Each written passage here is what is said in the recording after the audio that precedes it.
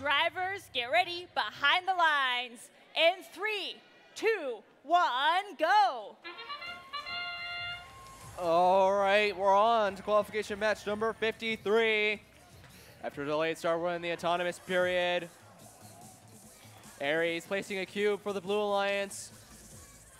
The Red Alliance manages to get one cube on the ground level as well. Blue Alliance coming out of auto with a 32 point lead over the Red Alliance. Or 32 points to 12. Excuse me. With Eagle Robotics with their weirdly shaped robot using their arm to shoot a cube. Oh, it doesn't quite make it into the ground level of the grid, unfortunately, but it still could be knocked in there. Aries placing a cube on the ground level as well. Eagle Robotics just gliding in. Meanwhile, CardinalBotics heading over, trying to line up and grab a cone from their level station. Fortunately, appears that they couldn't get it right now. Eagle Robotics getting a cube from their human player, driving over really quickly. Let's see if they can get a link. No, instead going after the cooperation grid. Red Alliance has managed to make what, two links so far on the ground. Blue Alliance also getting their second link.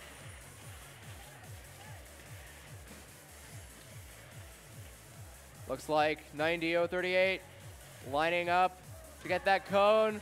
SF Unity makes it. That's another link for the Blue Alliance that keeps them in the lead. One minute left. Blue Alliance has a near two-time lead over the Red Alliance, 80 to 45. 90-38. Heading back to their human player station, grabbing a cube, heading over. It seems the Red Alliance having a trouble. 5700 is stopped in the middle of the field, right next to the Red Alliance's dock or loading station.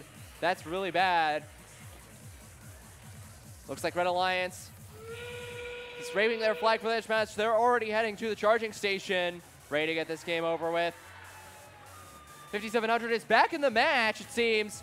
Galileo falls to let them back on. I don't think there's enough room with 16 seconds left.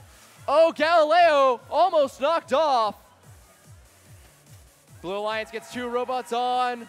Let's see if Red Alliance can get that trip that triple threat. Seems not. It seems that they're trying to just get with the two robots, but that is game.